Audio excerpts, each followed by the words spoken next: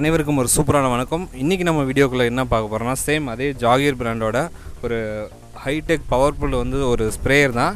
இந்த tank capacity பார்த்திங்கன்னா உங்களுக்கு ஐநூறு லிட்டர் கிட்டத்தட்ட பார்த்திங்கன்னா ஐநூறு லிட்ரு கிட்டத்தட்ட உங்களுக்கு ஒரு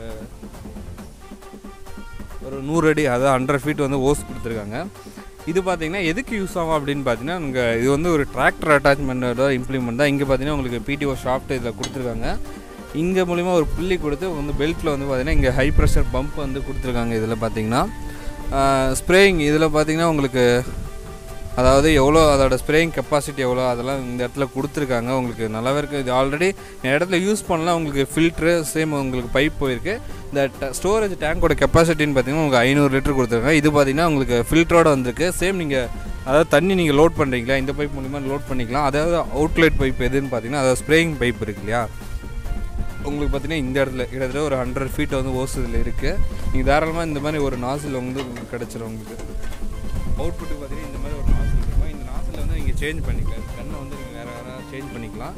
சேஞ்ச் பண்ணிவிட்டு உங்களுக்கு இப்போ நீங்கள் ஹை க்ராப்லாம் இருக்கு இல்லையா? இப்போ ஒரு சப்போட்டா தோட்டமாக இருக்கட்டும் மாங்காய் தோப்பு வாழைத்தோப்பு இந்த மாதிரிலாம் அடிக்க முடியாத இடத்துக்கு பார்த்தீங்கன்னா இந்த மாதிரி லோடு வந்து ஃபில் பண்ணிட்டு அடிக்கலாம். அதேமாதிரி இந்த இதை கவர்மெண்ட்டில் கூட நீங்கள் யூஸ் பண்ணலாம். அந்த நகராட்சியில் அந்த கொசு மருந்து அடிக்கிறோம் இல்லையா? அந்த மாதிரி யூசேஜ் இந்த மாதிரி இன்னும் மல்டிபிள் யூசேஜுக்கு வந்து நீங்கள் தாராளமாக எடுத்து யூஸ் பண்ணலாம். இந்த மிஷினும் உங்களுக்கு வேணும் அப்படின்னா டிஸ்கிரிப்ஷனில் வந்து காண்டாக்ட் நம்பர் இருக்குது நீங்கள் தாராளமாக வந்து புக் பண்ணிக்கோங்க. சூப்பராக இருக்கும் உங்களுக்கு யூஸ்ஃபுல்லாக இருக்கும்.